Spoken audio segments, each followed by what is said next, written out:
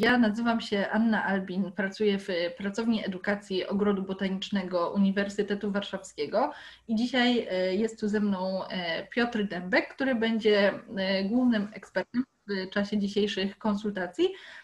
Piotr jest wieloletnim pracownikiem ogrodu, głównie pracuje w szklarniach i właśnie ochrona roślin to jest jego specjalność tutaj u nas w ogrodzie.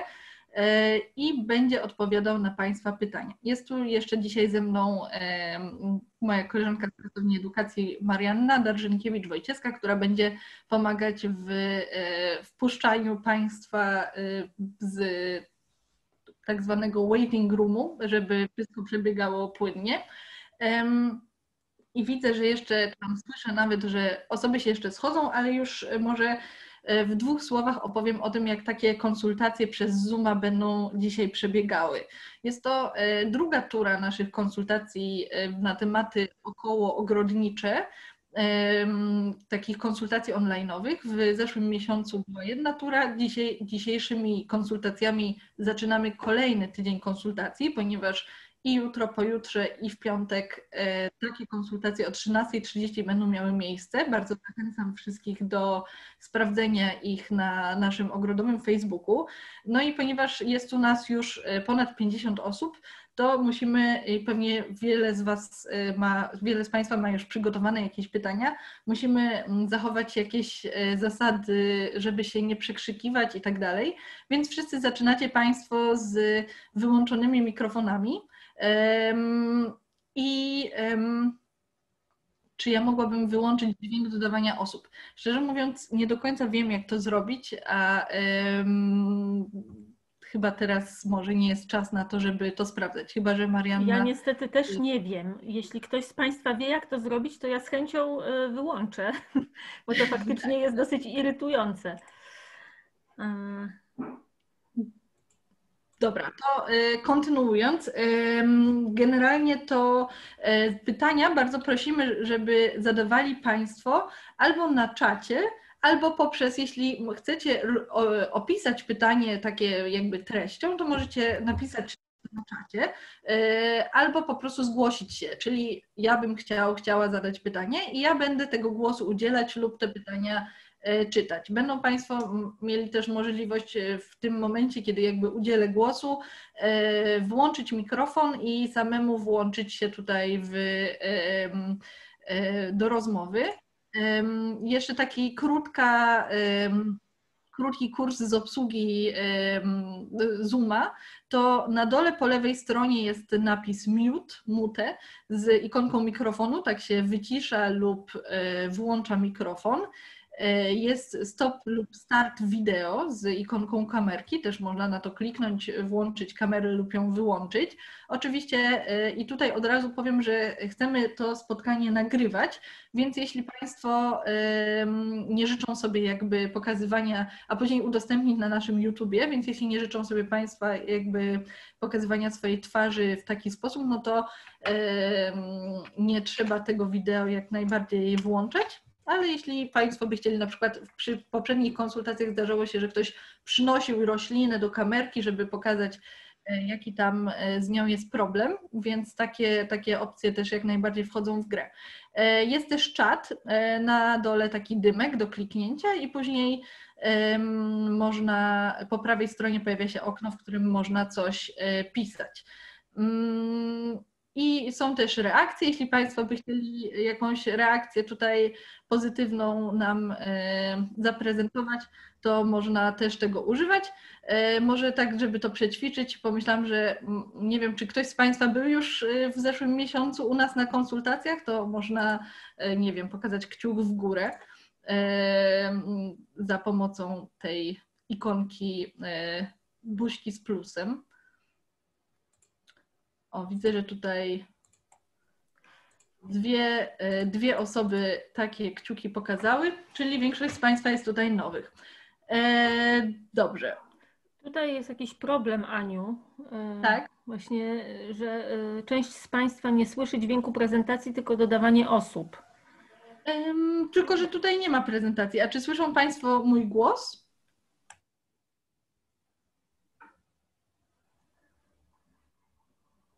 No właśnie, bo na razie nie mamy żadnej jakby prezentacji, to nie będzie jakby w takim stylu wykładu e, z prezentacją, z obrazami, ze zdjęciami, tylko właśnie Państwo będziecie zadawać pytania na czacie lub zgłaszać się do zadawania tych pytań również na czacie, pisząc na przykład mam pytanie e, i wtedy ja będę tego głosu udzielać. Więc teraz myślę, że już możemy zacząć. Czyli no niestety nie uda nam się teraz wyłączyć dźwięku przyjmowanych osób, więc y, musimy to niestety zaakceptować. Y, I może ktoś z Państwa by chciał już y, zadać swoje pytanie, wtedy poproszę o właśnie informacje na czacie. A jeśli ktoś ma problemy techniczne, to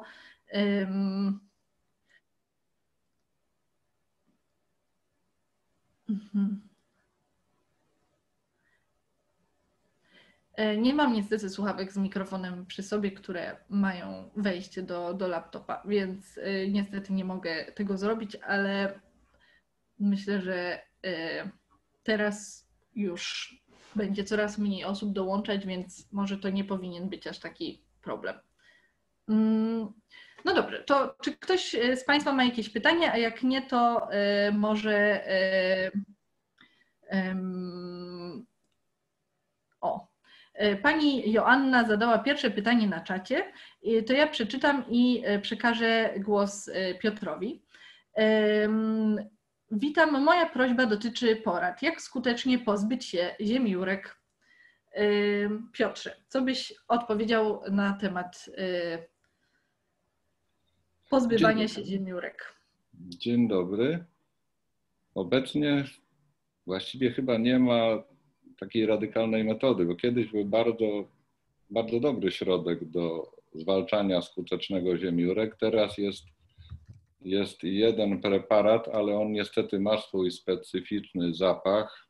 Poza tym jest no, dosyć dużo go trzeba wykorzystać na, na, na, na litr wody, a, a poza tym no, cena jego jest trochę odstręczająca jak na, jak, jak na środek ochrony roślin w dużych ilościach wykorzystywany, więc, więc nie wiem, co pani doradzić w tej chwili na, na, na ziemiórki.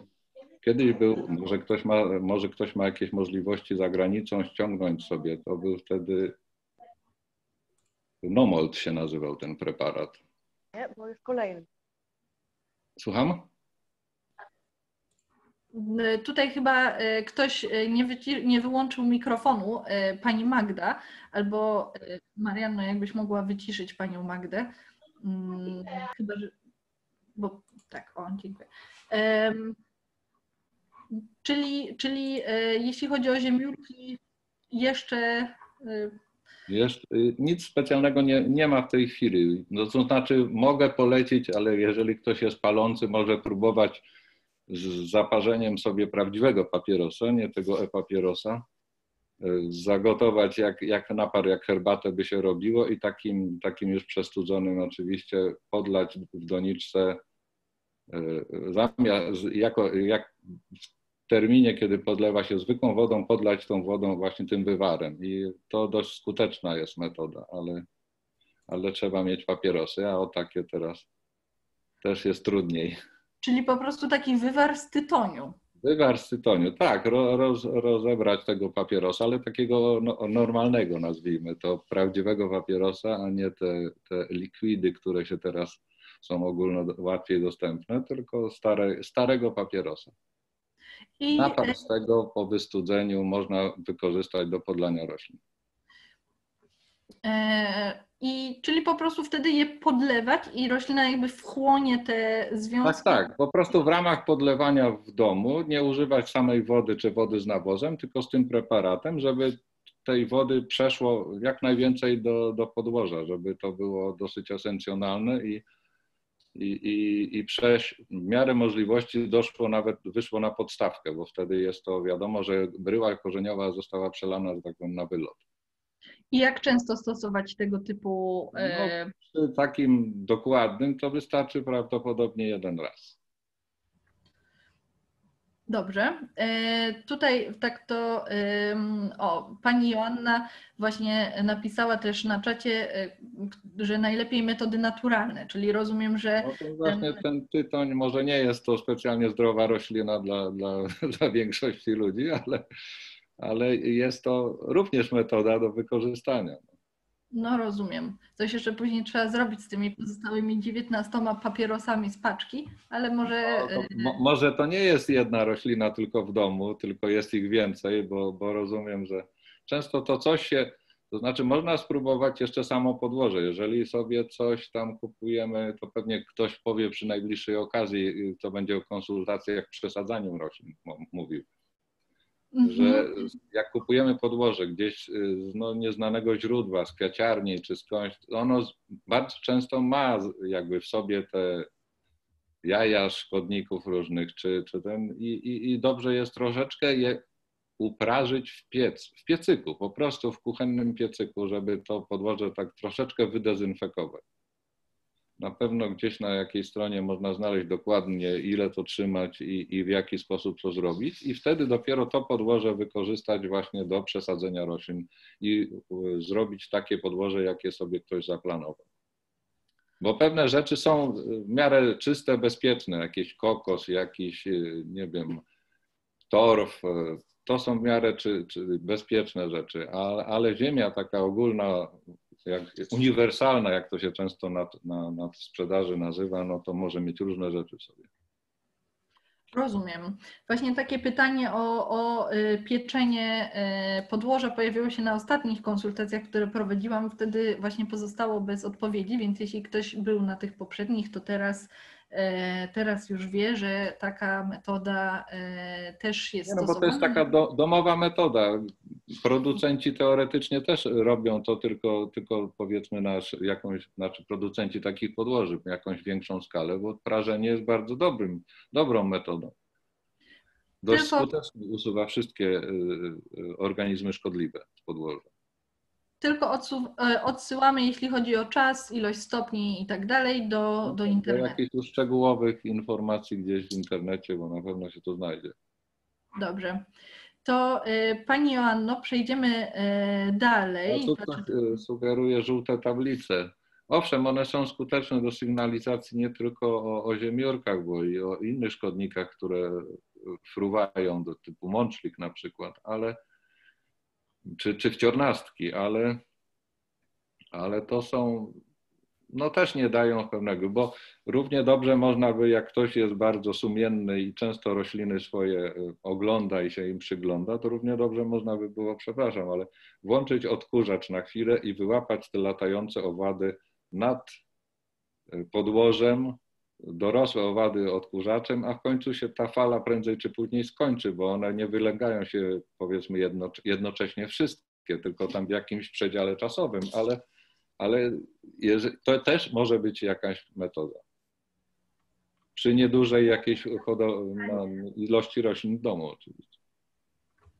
Mam pytanie do e, właśnie tych zimiurek i tytoniu. E, czy jakie proporcje zachować, jeżeli byśmy robili taki wyzar, na przykład na litr takiej wody? No to taki papieros mniej więcej tak, na litr wody. Dobra. Taki do, dosyć esencjonalny, bo to tak jak, jak, jak taka dobra, dobre, porządne zioła zaparzone do picia. I chwilę pogotować. Dziękuję. Dobrze, to chyba przejdziemy do kolejnych pytań. Pani Magdalena e, chciałaby e, pomóc e, swojej biednej strelicji i tutaj wysłała Pani zdjęcia. Widzę, że one się jakby trochę ładują. Może Pani Magdaleno, ja bym Panią zachęciła, żeby Pani może włączyła mikrofon i opisała problem, bo wydaje mi się, że Piotr może nie móc w tym momencie y, zobaczyć tych zdjęć tak na szybko. Może Pani mogłaby opisać to. Dobra, mogę to opisać. E, ja też ewentualnie mogę włączyć kamerkę, żeby tą roślinę pokazać. Więc sytuacja wygląda następująco, że jakiś czas temu, dokładnie chyba wrzesień, październik, e, miałam na tej strelicji przędziorki. Wydawało mi się, że pozbyłam się tych przędziorków, natomiast od początku lutego jest problem, ponieważ bardzo żółkną jej liście.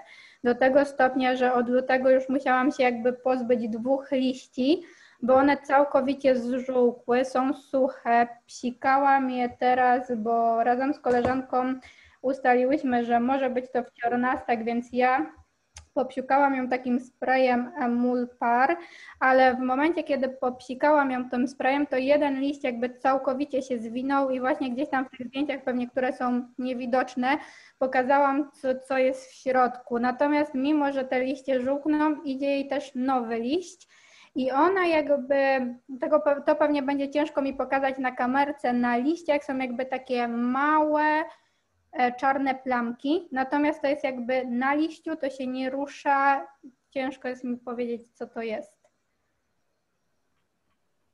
No, mnie też będzie trudno odpowiedzieć na to pytanie, ponieważ nie, nie widzę samej rośliny, ale... Dobra, ja zaraz postaram się... Nie, nie ale jeżeli chodzi o, o te przędziorki, o których Pani mówiła, być może, że to nie, nie same, że przędziorki Pani przynajmniej w znacznym stopniu ograniczyła, mhm. ale warunkach domowych, no niestety zimą bardzo wiele roślin źle znosi suche powietrze, tak zwane grzejnikowe, więc to no właśnie, e, grze, ona teoretycznie stoi przy grzejniku, natomiast jakby ten grzejnik był wyłączony, więc jakby nic się na nią, jakby tak, no to ciepłe powietrze jakby na nią nie leciało, bo ten grzejnik... To nie chodzi o dosłownie ciepłe, tylko to jest suche powietrze.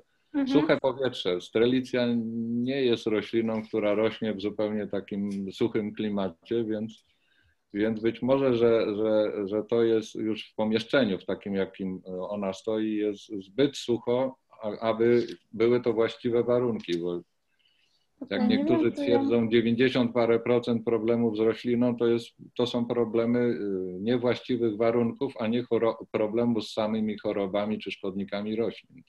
Okej, okay, nie wiem, czy ją teraz widać w ogóle. Widać, Widzisz? tak, widać, tak. widać. I tu jest na przykład nie wiem, czy teraz jest pod słońce. Ogólnie ona tutaj ma taki jakby brązowy, czarny nalot. Nie mhm. wiem, co to jest. Na ogonkach liściowych czy na samych liściach? Nie, na, w ogóle na łodydze, z której ona wychodzi. Mm, zaraz, bo to jest, może pokażę to tak.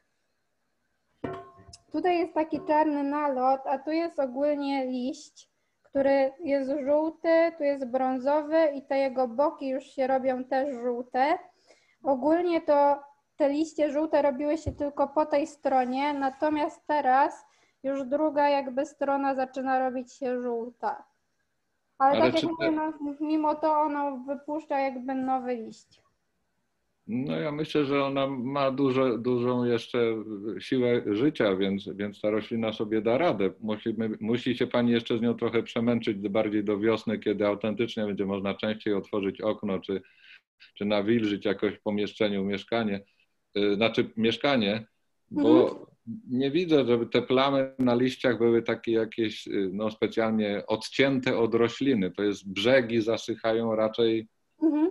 w dużych powierzchniach, znaczy na dużych odcinkach, więc raczej bym sugerował, że to jest problem z, z właśnie z suchością powietrza w pomieszczeniu, a nie z, z chorobą czy, czy, czy z jakimiś szkodnikami. Okej, okay, a na przykład czy ustawienie jakby pod nią jakieś, e, nie wiem, podstawki z kamieniami zalanymi wodą, coś? No jest to jakaś metoda. Kosterlicja jest dosyć gabarytowo duża, więc to tak. podstawka tak.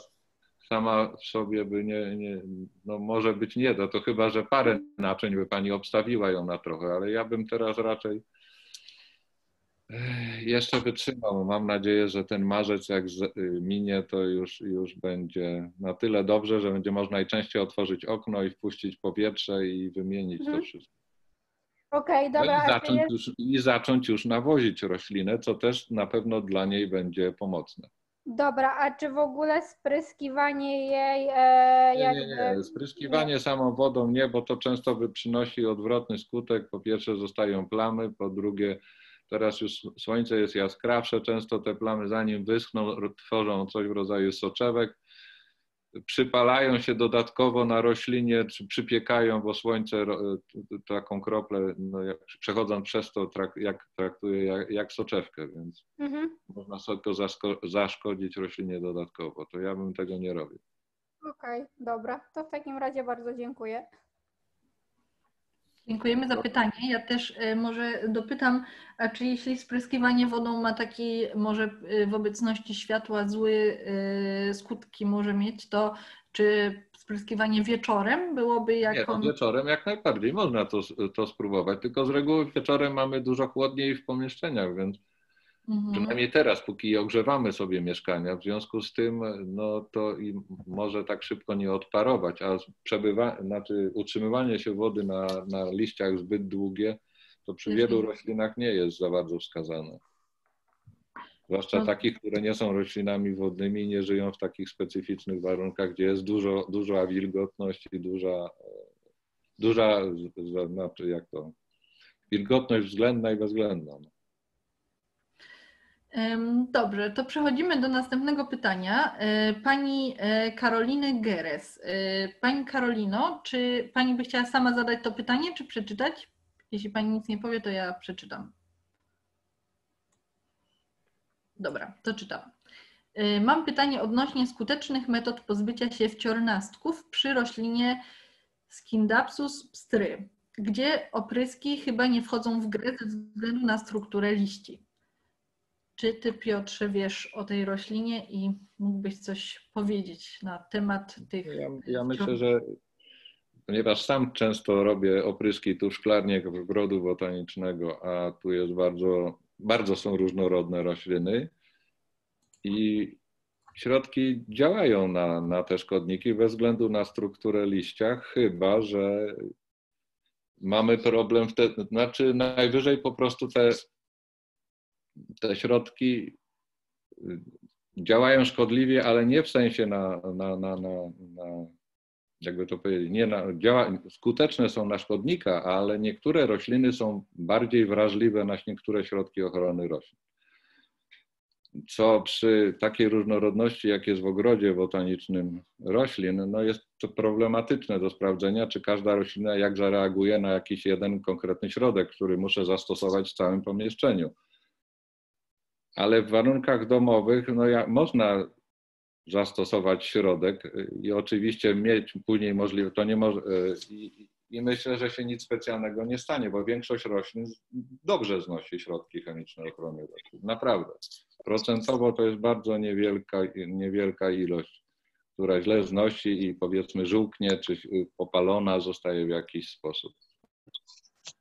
Także jeżeli ma Pani możliwość opryskania, bo, bo powiedzmy ma Pani jakieś wolne pomieszczenie gdzieś, czy, czy, czy, czy wyłączone z, uży, z użytkowania, czy może być na klatkę schodową z, z opryskiem, żeby powiedzmy ten środek zastosować, pozostawić tam roślinę do obeschnięcia i wciągnąć tą roślinę z powrotem, to, to nie powinno być z tym problemu.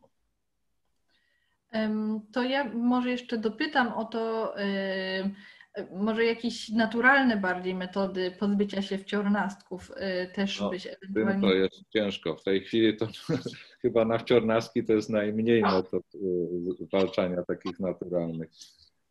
Mhm. Bo jest szkodniki, larwy ich właściwie, które są najbardziej szkodliwe, są bardzo delikatne, znaczy bardzo delikatne. Potrącenie rośliny powoduje, że one momentalnie spadają z rośliny, jakby uciekają z niej. W związku z tym no, trochę to trzeba robić jakby z zaskoczenia. Mhm. Nie znam, nie znam. Przyznaję się bez bicia, nie znam żadnego środka takiego domowego czy, czy jakiegoś bardzo naturalnego w 100%, żeby, żeby to zrobić.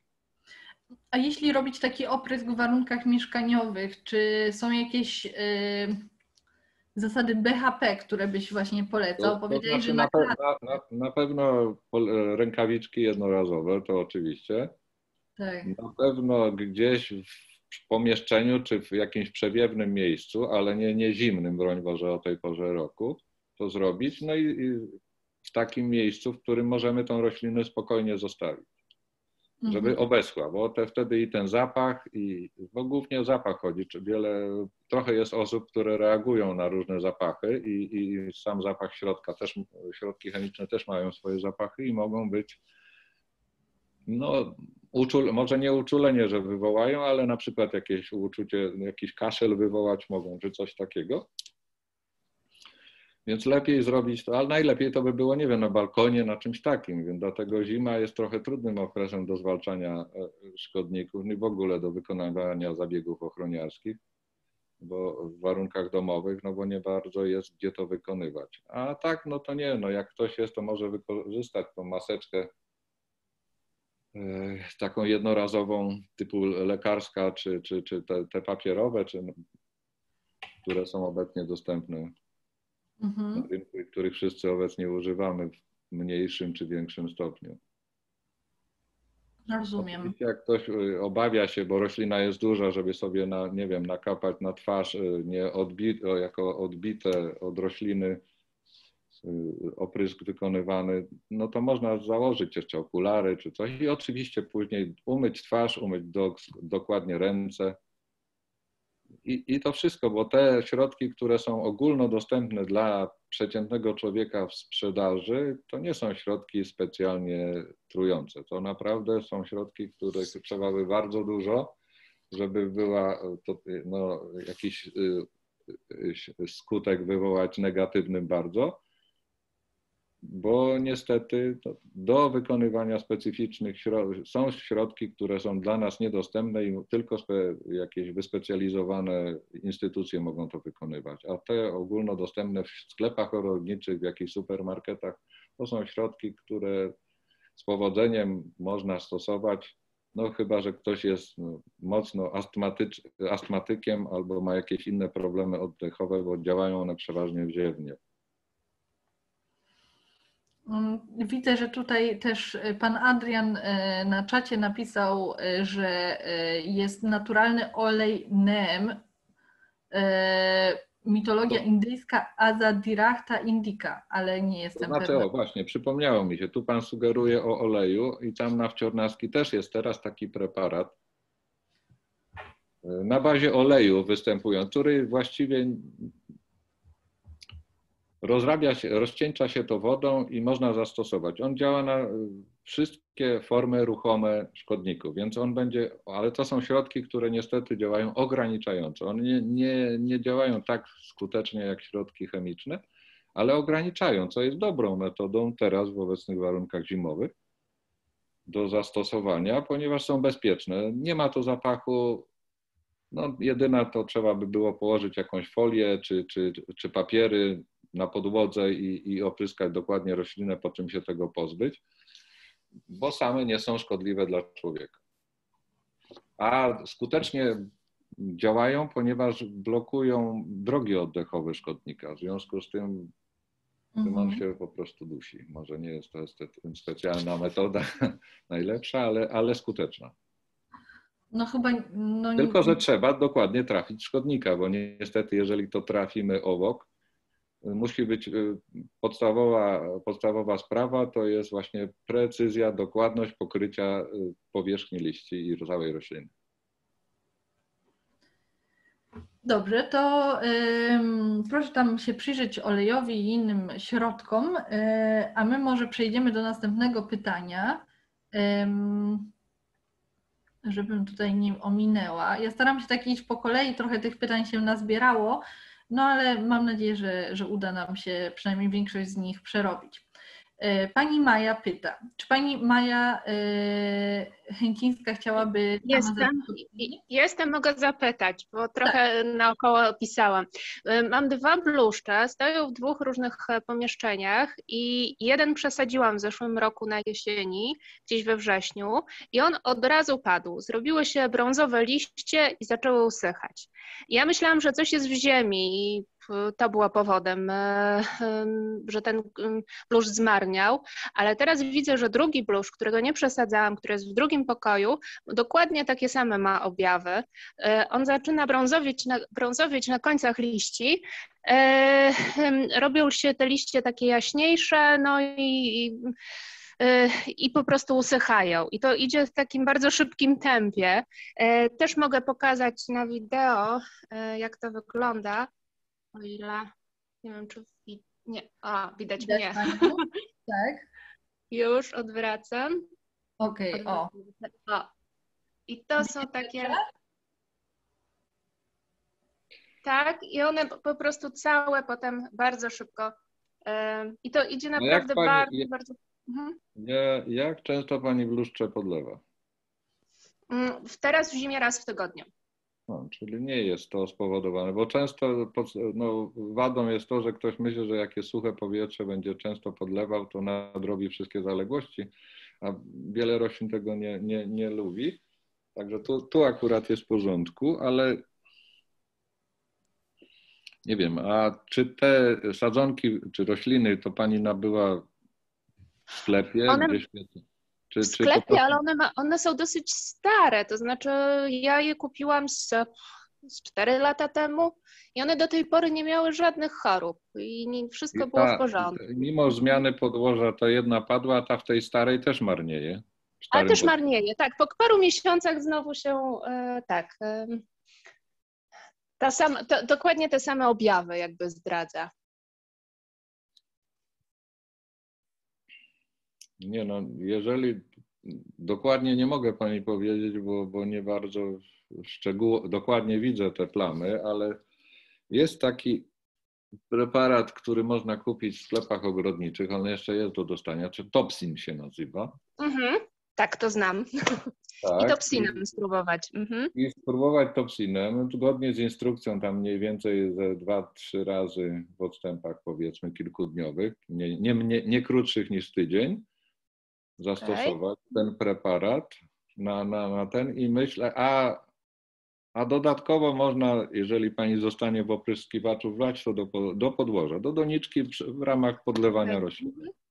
Ten preparat, żeby, żeby wykorzystać, bo to jest taki dosyć stary środek, który nie wiadomo ile jeszcze będzie sprzedaży, ale on ma dosyć e, szerokie spektrum działania i na wiele plamistości działa. Okay, jest ciągle spróbuję. skuteczny, mhm. więc ja bym polecił ten środek. Dobrze, dziękuję bardzo. Proszę uprzejmie. A czy to jest taki środek na y, plamy na liściach spowodowane właśnie różnymi y, grzybami? A tego, z jakim, y, z jaki to jest rodzaj grzyba, no jest mi trudno stwierdzić, bo, bo po prostu nie widzę tego z bliska. Zresztą to by trzeba było pobrać próbkę, wyhodować, że tak powiem, tego pasożyta i, i dopiero się zastanawiać nad tym. Ale sądzę, topsin jest ogólnie na plamistości liści polecany jako o dużym spektrum działania, w związku z tym myślę, że będzie skuteczny w tym przypadku również. Dobrze. E, przechodzimy dalej do pytania pani Katarzyny.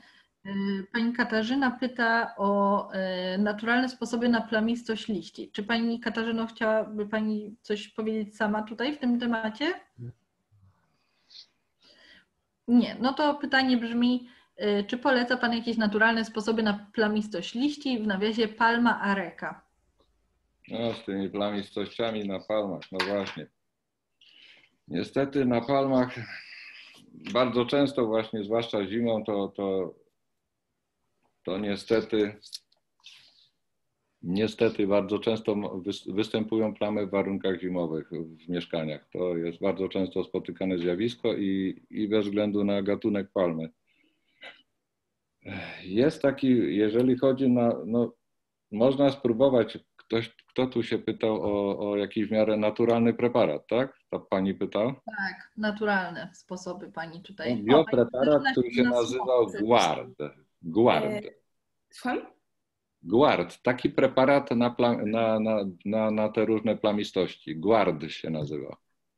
Bo ja przeczytałam coś też o chyba drożdżach i sodzie oczyszczonej, że na pewne rodzaje grzybów są no. pomocne, ale Być może. Ja nie, nie, nie mogę wytestować takiego, bym musiał dużej, na dużą skalę stosować te drożdże, ale, ale na pewno istnieją w internecie strony, które, gdzie jest dużo przepisów naturalnych.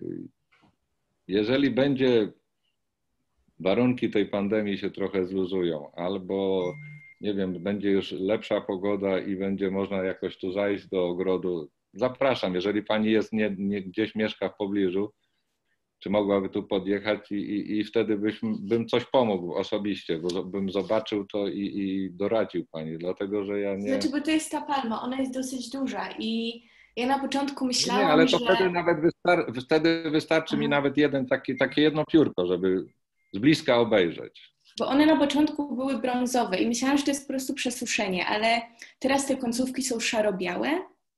No bo to może Mhm. następny e, jakby etap zasychania. One będą brązowe, potem totalnie wyschnie to do, do tego i potem będzie można to skruszyć palcami, więc...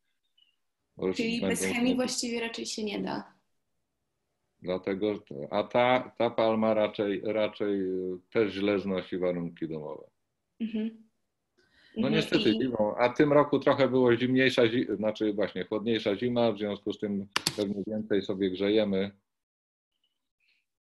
i, i mamy wy- wysuszone powietrze, a to bardzo jest zimą niestety dla wielu roślin. No, niewskazane. A podlewać się wystarczy raz w tygodniu? Myślę, Czy- że tak. To z tym podlewaniem to nie nadrobimy y, problemów palmy, dlatego że mamy suche powietrze. To ja bym raczej próbował, właśnie tak jak tu już gdzieś ktoś y, pytał, czy może jakieś naczynie z wodą obok postawić, płytkie, a szerokie, żeby to powierzchnia parowania była większa, żeby trochę nawilżyć bardziej powietrze. Chyba, że ktoś ma nawilżacz jakiś Mhm. elektryczny, czy, czy, czy, czy w domu coś takiego stosuje. Oczywiście nie przystawiać tego pod samą roślinę, ale, ale to coś I- takiego zastosować. I zraszać też je lepiej nie zraszać w ciągu Nie, zraszać, nie, nie, nie. Nie, nie, nie to nie. Okej, dobra, dziękuję Także bardzo. Jeżeli pani ma tą, tą taką normalną temperaturę 20-21 stopni, Mhm. czy tam jeszcze niżej, jak ktoś czasem lubi 18 czy 19, to to, to są wystarczające warunki, żeby nie trzeba zwiększać podlewania, nie trzeba, bo to tylko wtedy zaczną gnić korzenie, a to tym bardziej wykończy roślinę. Zobaczy pani, że jak się zrobi wiosna i, i skończy się grzanie y, te sztuczne, że tak powiem, dogrzewanie mieszkania, to wtedy będzie ta roślina zacznie, nowe liście będą zupełnie inaczej wyglądały. A te w A razie czego mogę mieć jedno pytanie? Em, Y, Chodzi mi o ten wątek stawiania y, przy roślinie naczynia z, z wodą. Ja y, stawiam doniczkę na podstawce wypełnionej keramzytem i tam często dbam o to, żeby tej wody było więcej. Natomiast błyskawicznie pojawiać się zaczęła pleśń na tym keramzycie. Ale to nie jest pleść, podejrzewam. To- taki Taki biały biały, nalot? taki szron, taki, taki nalot. Biały nalot. To nie jest y, nalot, to jest, y, jakby to powiedzieć, to, co zostało, odpar- woda odparowała, został osad z wody. Aha, czyli tego się nie trzeba bać. Tego się nie trzeba bać, tylko po prostu, jeżeli ma Pani możliwość, wymienić za jakiś czas ten keramzyt na nowy. Aha, To jest osad. To, to tak jak osadza nam się coś na kubku, którego nie myjemy codziennie, czy to po jakiejś herbacie powiedzmy, czy tak jak odparowuje sam, sama, sama woda, a zostaje osad, te inne składniki, które w tej wodzie są. I, i, i to, jest, to jest właśnie to. To nie, to nie jest specjalnie szkodliwe, a to nie służy roślinom, bo nad, nadmiar tego z kolei będzie utrudniał pobieranie później składników pokarmowych y, z nawozu, który pani zastosuje. Czy, czy, także lepiej raz na jakiś czas wymienić ten keramzyt, jeżeli to nie jest kłopotliwe specjalnie na nowy. mhm. To jest taki dobry wskaźnik. Jak na każdej doniczce, którą mamy w domu, zaczyna się już pojawiać jakiś nalot, to, to albo stosujmy, woda jest, której, której używamy, ma zbyt dużo składników i to się krystalizuje po prostu. W efekcie albo stosować przygotowaną wodę, odstałą, żeby tego było jak najmniej, a lepiej dodać jakiegoś słabego nawozu, niż stosować y, czystą wodę prosto z kranu. Aha. Nawet, bo nawet jak ktoś ma własną, własną studnię, że, y, powiedzmy, na, na, gdzie tam w domku mieszka jednorodzinnym i, i używa własnej wody, to wcale nie znaczy, że ta woda dla wszystkich roślin będzie, że, że ona nic nie ma w sobie. To nie jest szkodliwe oczywiście, ale, ale to się będzie systematycznie, to coś w rodzaju takiego zapychacza się robi, więc, więc to trzeba w jakiś sposób y, wyeliminować z wody, zanim wykorzystamy to do podlewania roślin. I Okej, najprostszą dziękuję. metodą to jest po prostu albo wymienić ten keramzyt, albo stosować przygotowaną wodę, która jest może uboższa w składniki, ale za to bezpieczniejsza do stosowania. Okej, dziękuję. A czy mogę przy okazji zapytać o pleśń, która Tak, pojawia się w doniczkach z ziemią? Długa, długa kolejka osób, które zadały pytanie na czacie, już czekają jakiś dość długi czas, już to o keramzycie to, yy, i wodzie, no to, to ym, przeszło, ale może bym poprosiła, żeby Pani po prostu zgłosiła się w kolejności na czacie. Mm. Dziękuję bardzo, przepraszam za zamieszanie. Dobra. E, To przejdę do pytania od pani H. E, Chcia, chciałam zapytać o to, na co zwrócić uwagę oglądając rośliny doniczkowe. Jakich objawów szukać, żeby rozpoznać obecność tych najczęściej spotykanych szkodników lub robali? Najczęściej w warunkach, do, bo rozumiem, że to chodzi o warunki domowe, więc najpopularniejszymi szkodnikami w warunkach domowych chyba i najtrudniejszymi do zwalczenia to będą czerwce, ogólnie nazywane grupa szkodników, a szczególnie jest tak zwany wełnowiec. To są takie malutkie kłaczki waty, jakby ktoś umieścił w dość e, zwykle na spodniej stronie liści albo w kątach samych liści, w kącikach młodych pąków pękających, w łuskach pąków pękających, to się najczęściej pojawiają te szkodniki. I to jest bardzo charakterystyczne, bo to tak jak nie, nie było, a nagle się pojawia. Mały jakby kłaczek waty, białej, białej waty. Drugim szkodnikiem, też czerwcem, ale który może się pojawić czasem na roślinie, bo to często jest tak, że jak kupujemy w kwiaciarni rośliny, to my tego nie widzimy. One były odpowiednio przygotowane do sprzedaży, więc one gdzieś tam były potraktowane mocno chemią i trafiły, i, i przez jakiś czas będzie z nimi święty spokój. Ale potem z kątów liści, z rozwijającej się rośliny, nagle ze spękań kory coś tam się zaczyna pojawiać nowego. I drugi taki szkodnik to są białe plamki. Takie małe, młode będą białe, też, ale białe, takie trochę jak łepek od szpilki, tylko bardzo płaski, pojawiający się też zwykle na spodniej stronie liści, a starsze, bardziej wypukłe będą już takie ciemniejsze, do brązowego nawet koloru. To są tarczniki. Szkodniki, które się stosunkowo wolno przemieszczają, i, ale te plamy też również mogą być charakterystyczne, że coś się dzieje z rośliną niedobrze. Innymi szkodnikami, które też pojawiają się, to tutaj już były wciornastki, ale również wciornastki, patrząc na liść, wciornastki żerują zwykle na spodniej stronie liści, w związku z tym patrząc na ten liść z góry, widać szereg jakby takich przeja- prze, rozje- przebarwień, rozjaśnionych małych, drob, drobniutkich kropeczek, które świadczą o tym, że od spodu przez szkodnika wysysane były soki, w związku z tym no, komu, część komórek zaczyna obumierać i, i takie właśnie białe, plam, żółtawe plamki pojawiające się świadczą o tym, że mamy coś pod spodem jakiegoś szkodnika. Chociaż podobne objawy, też drobne plamki na początku, robią przędziorki, ale przędziorki dodatkowo mają oprzęt. Jeżeli pojawi się na liściach oprzęt, taka pajęczynka, drobna pajęczynka. I, I, często te młode stadia przędziorków są na tyle drobne, że no, gołym okiem to nie widać specjalnie. No, to są jakieś paproszki, może coś tam takiego, dopiero przez lupę widać, że te paproszki mają nóżki, że to się zaczyna ruszać i przemieszcza się.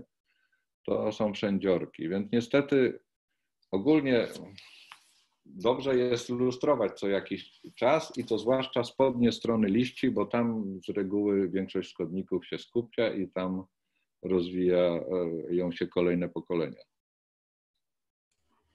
Dobrze, czyli oglądamy rośliny dokładnie przed kupieniem i jak już. Znaczy nas... przed kupieniem to jest problem, bo, bo, bo, bo tak jak powiedziałem, w kwiaciarniach one są często znaczy przed trafieniem do kwieciarni, one są często mocno potraktowane różnymi środkami, żeby były czyste i przez jakiś czas, żeby to było idealne. Ale w domu, jak już trafią do nas, to oprócz tego, że podlewamy, to, to trzeba im się czasem przyjrzeć bliżej, zwłaszcza właśnie od spodniej strony liści. Mm, dobra. Bo Y, jeżeli się coś pojawi wtedy, to, to jeszcze jesteśmy w stanie zareagować, bo jest to zwykle musi się rozwinąć kolonia, a jeżeli to nie oglądamy jeszcze dokładnie, znaczy zbyt rzadko, to niestety potem może być już na takim etapie, że właściwie się nie opłaca rośliny ratować. Bo może być już to zbyt mocno rozwinięte. Rozumiem. Y, To przechodząc dalej, y, jeszcze chyba nie było, mówiliśmy już trochę o przędziorkach, ale nie było o y, preparatach na ich zwalczanie, z tego co, co, y, co pamiętam. A jest od y, pani Magdy takie pytanie. Czy y, biologiczne preparaty na przędziorki. Pytanie, nie wiem, czy mnie słychać. Ym, tak, słychać?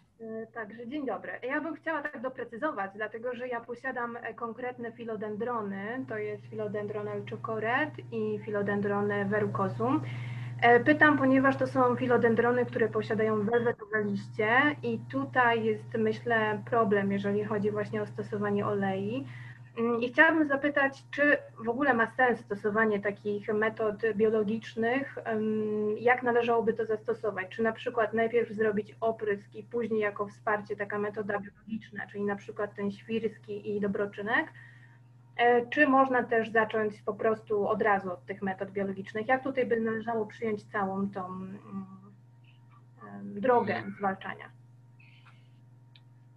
Znaczy na, na pewno na, na okres zimowy polecałbym, jeżeli mamy możliwość i jest to bezpieczniejsze dla nas na pewno, stosowanie środków biologicznych. Wprawdzie no, wymaga to pewnej regularności, ponieważ w zdecydowanie mniejszym procencie one hamują rozwój szkodników, ale jednak hamują, więc jeżeli będziemy to robić powiedzmy sobie regularnie, tam raz na dwa tygodnie, czy, czy zależnie, zobaczy, to trzeba zresztą obserwować roślinę, bo możemy po pewnym e, czasie za, zauważyć, że na tyle jest duża poprawa widoczna, że, że możemy przerwać stosowanie jakichkolwiek środków, a zimą jest to bezpieczniejsze zdecydowanie. Natomiast jednak latem dla lepszego efektu, jeszcze jak mamy możliwość zrobienia gdzieś tego na wolnym powietrzu, jeżeli ta roślina dałaby się wynieść i, i, i zostawić na zewnątrz na, na kilka godzin,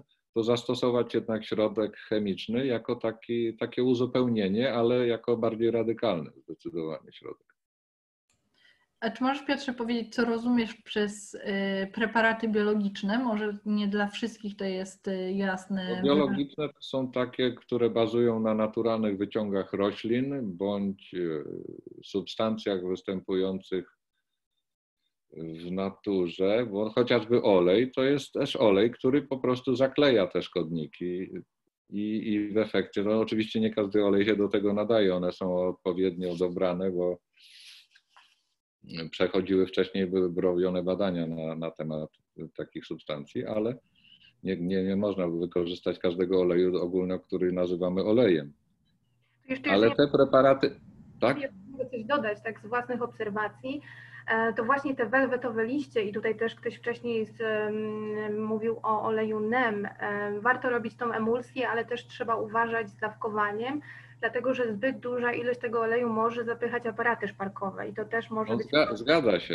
Jeżeli mamy Trzeba znaleźć taką odpowiedni, odpowiedni złoty środek. Ja też tak sama eksperymentuję i szukam i łączę ze sobą te metody i chyba e, tak też myślę, że jest najlepiej właśnie to Nie, łączenie. no najlepiej jest łączyć, bo kiedy możemy zastosować chemię, to jednak ją zastosujmy, bo na razie dla żadnej rośliny, jeśli chodzi o, o, o wszystkie problemy z roślinami, nie, nie, nie ma skutecznej y, jakby programu ochrony dla, dla, dla całości.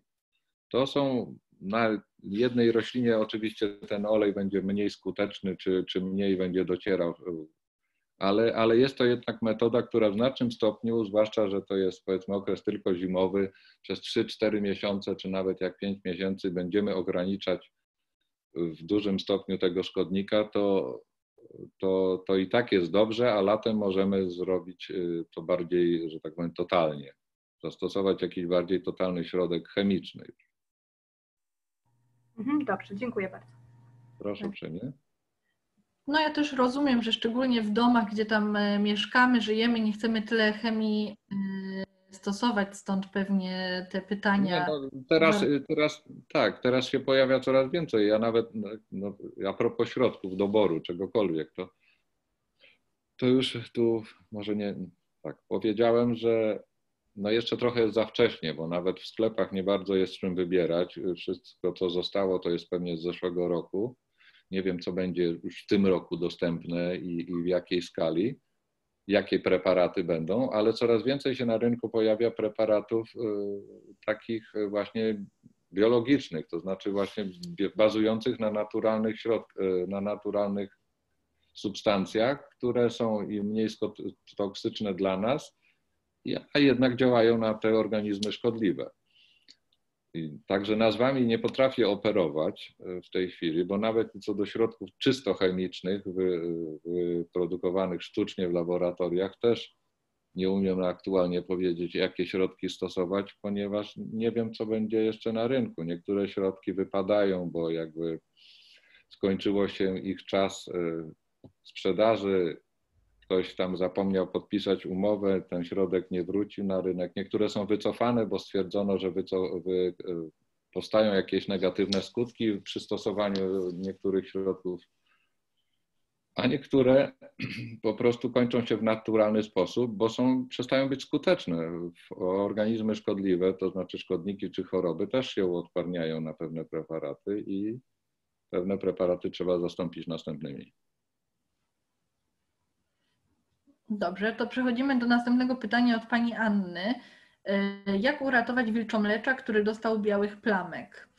E, pani Anno, jeśli pani tu jest, może pani chce coś dopowiedzieć? Jestem. Słychać tak? mnie? Słychać. Tak. Tak, mam e, takiego wilczomlecza, który był u mnie w domu rodzinnym przez 20, ponad 20 lat i nic mu nie było. Natomiast został komuś tam przekazany mojemu bratu, który najpierw go nie podawał przez dwa miesiące, potem sobie przypomniał, podawał przez dwa tygodnie codziennie. Od tego momentu wilczomer zaczął strasznie chorować. Ja go wzięłam do siebie, do domu i próbuję go ratować, natomiast oprócz białych plamek na roślinie zaczęła ona takie e, te liście i zaczęły, liście, no, te łodygi zaczęły drzewieć też przy okazji. I nie wiem, czy w ogóle już coraz gorzej wygląda i zaczęły się wyginać. Ona była taka strzelista do góry, prosta, natomiast zaczęły się teraz wyginać te wszystkie łodyżki, więc nie wiem, czy jest w ogóle szansa, żeby ją ratować, czy teraz nie wiem, czy mi się uda w ogóle. Um... Jeżeli już łodyga jest na tyle, zaczyna się roślina, że tak powiem, schylać do ziemi, to no, no raczej mało prawdopodobne, żeby, przepraszam, ale niestety tak bywa, że, że się uratuje, ponieważ jest to już zbyt zaawansowane może jedynie pani spróbować tak zrobić, że wprawdzie to jeszcze może nie jest pora najlepsza na przesadzanie, ale już niedługo będzie, po prostu wymienić totalnie podłoże. Mhm. Wyjąć tą roślinę, osypać podłoże to luźno się utrzymujące korzenie. Przy okazji obejrzy Pani korzenie, bo to wtedy będzie praktycznie widoczna sprawa, jak się mają korzenie, czy ta roślina nie została wtedy przelana przez Pani brata i i po prostu część korzeni nie zgniła i to jest jakby skutek, na, następstwo tego, co się zadziało. Mhm.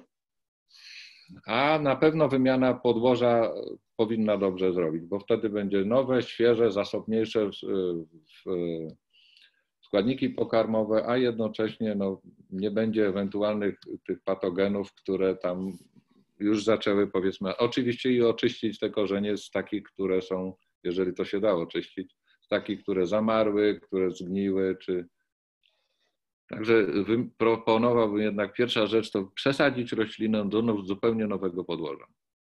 Mhm. A na te plamki coś, nie wiem, coś, czymś ksikać? Te, nie wiem, czy ja ogóle myślę, to widać. Na tym etapie to nie, bo te liście, jeżeli to nie jest, bo te białe plamki, ja tu wspomniałem, że mogą być tarczniki, które przy zmianie gdzieś tam mogły zostać przy okazji, że tak powiem, zawleczone na tą roślinę ale jeżeli to nie jest tarcznik, to te liście i tak zgubi roślina i powinna wytworzyć nowe. Jeżeli jej się warunki poprawią i odżyje, to ona wytworzy nowe liście i dopiero wtedy reagować e, czymś innym, bo, bo ją tak totalnie dobijać na liście, do korzenia i wszystkiego, to, to za dużo naraz. To nie będzie, Czyli to nie jest najlepsza metoda. Czyli po prostu przesadzić, oczyścić korzenie w miarę możliwości, no i nic O, więcej tak. tak. naprawdę nie robić na te tutaj, plamki, to zostawić. jest to, co widzę teraz na zdjęciu, tak? Tak, to jest to. To jest właśnie to. Jest dosyć już w takim stanie dosyć Bo ja ciężkim. właśnie nie wiem, czy te białe plamy czasem na kaktusach, euforbiach i różnych takich e, sukulentowych rzeczach pojawiają się często coś w rodzaju tak jakby korka. To jest taka cienka jakby, po- ale to jest skutek e, tego, że nieregularnie jest właśnie podlewane.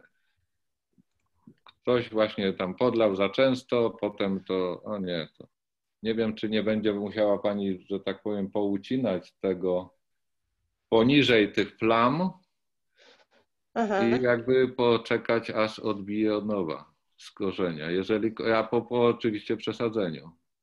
Tak, A czy na przykład y, y, y, jakiś tam jeden listek, który nie ma tych białych plamek, powiedzmy wziąć, y, Można z tego odciąć zrobić sadzonkę, jak najbardziej. sadzonkę? Czy, a, to, czy to nie jest tak, że bo ja się boję, właśnie myślałam o tym, bo widziałam taki jeden, który nie został zaatakowany tymi plamkami, ale czy to nie jest tak, że to cała roślina jest chora i jak ja sobie ją Nie, nie, nie, rozsadzę, nie, to i nie, tak... nie, to nie jest tak aż. No ale tak, tu ja, no tak, za mało szczegółów widzę, niestety nie umiem Pani powiedzieć. Jak? Te duże plamy mnie trochę przerażają. Myślę, że to, co jest nad plamą, niestety umrze prędzej czy później, uschnie Aha. czy zwiędnie. I Mhm. tak będzie do usunięcia, także albo to oczyścić z tych plam będzie łysy, albo tota, totalnie obniżyć roślinę, uciąć przed tym i, i próbować aż odbije od nowa. To Dobrze. nie jest jakąś specjalną metodą. W naturze ta roślina sobie świetnie z tym radzi. Mhm. Dobrze, dobrze, dziękuję bardzo. Proszę uprzejmie. E, Dobrze, to zostało nam chyba e, czas na ostatnie pytanie, więc wielu e, pytań nie uda nam się dzisiaj przerobić. Ale jest pytanie od pani Oliwii. Czy pani Oliwia tutaj jest? Pani przesłała trzy zdjęcia. Ja mogę podejść do drugiego pokoju i je pokazać. Może. Czy, czy pani Oliwia tutaj z nami jest? Hmm. Nie ma. Em. A, pani jest. Dobrze. To w takim razie, bo jeśli pani by nie było, to może jakieś inne pytanie byśmy wzięli jako e, ostatnie. Ja, e, bo pani tutaj e, pyta o, przepraszam, ja tutaj nawiguję w tym czacie, e, że ma problem z rośliną i już nie ma pomysłów, jak jej pomóc. Czy to grzyb, czy przelanie. E, p- Pani Oliwia zrasza, ale ma wrażenie, że tylko pogarsza sytuację. Em, Czy to jest jakaś plamistość liści? Ja może, Piotrze, bo Ty może masz problem z otwarciem tych zdjęć, ja podejdę i Ci je pokażę, tylko się zamaseczkuję. To momencik.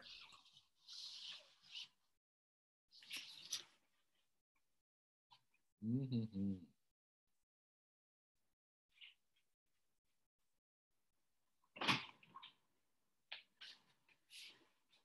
Dobry. Dzień E, dobry, Dobra, dzień to, to dobry. jest tutaj. Aha, okej, dobrze, już widzę. Mm. Tak. Tu jest jedno zdjęcie. Nie. To jest to. O. No tak, no to. Przepraszam, dobrze. Tak, to jest na pewno grzyb. Owszem. A to nie jest anturium przypadkiem? Roślina, która, którą widziałem na zdjęciu? E, Moment, moment. Czy to jest anturium? Pytamy się. E, Tak, to jest anturium, pisze pani Oliwia.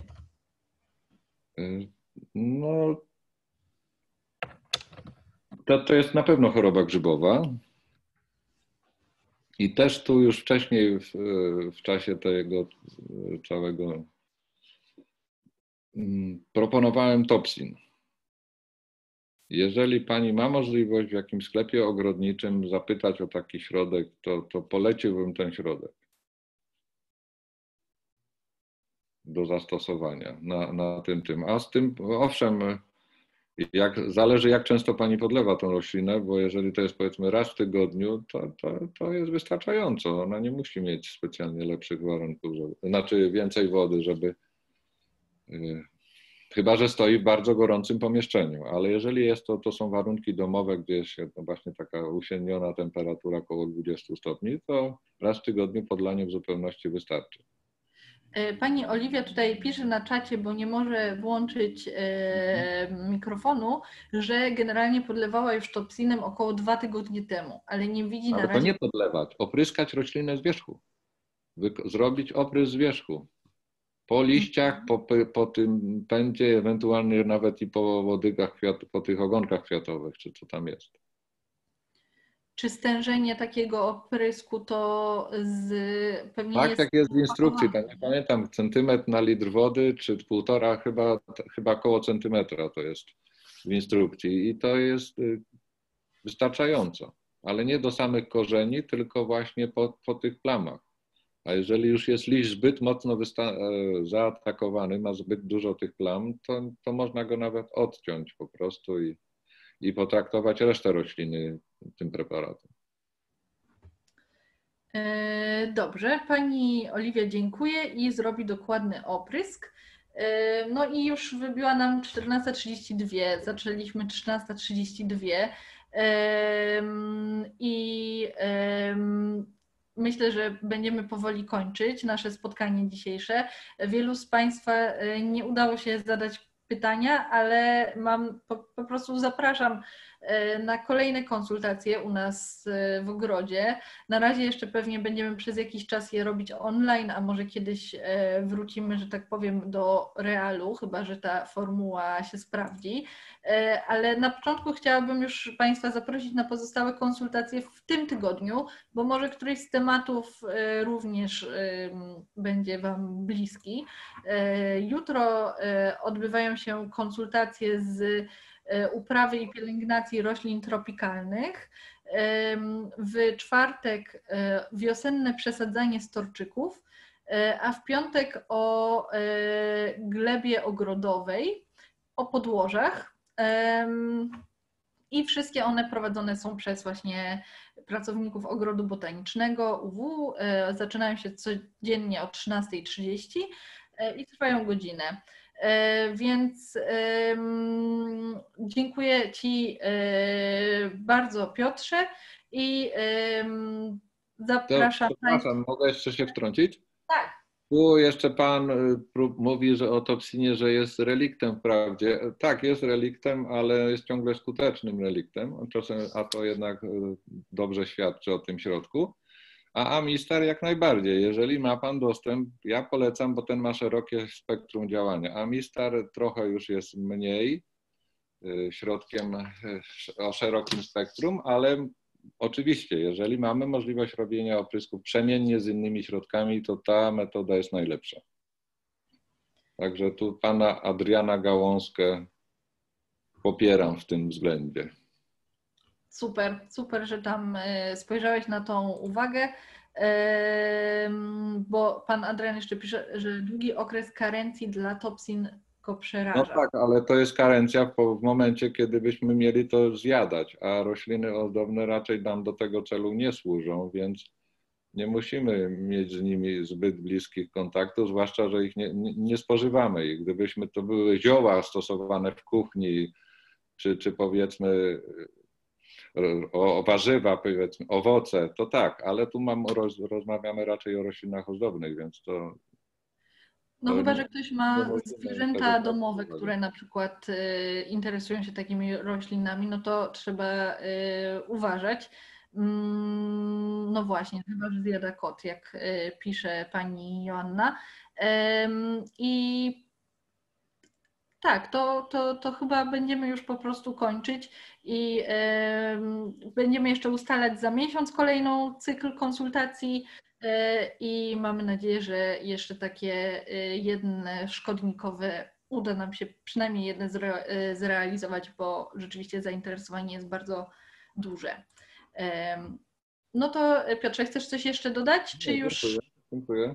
No to dziękujemy Państwu bardzo. Zapraszamy w ogóle też do ogrodu, bo otwieramy się 21 marca. E, można, można przychodzić, będą nawet jakieś wycieczki, oczywiście w maseczkach, ale też od tego 21 marca można sobie po prostu odwiedzać ogród tak jak e, się w czasie wolnym chce na indywidualne spacery. No i wielka atrakcja, bo pierwszy raz od dwóch lat otwieramy z powrotem szklarnię, oczywiście z zachowaniem reżimu sanitarnego, więc zapraszamy. Do zobaczenia.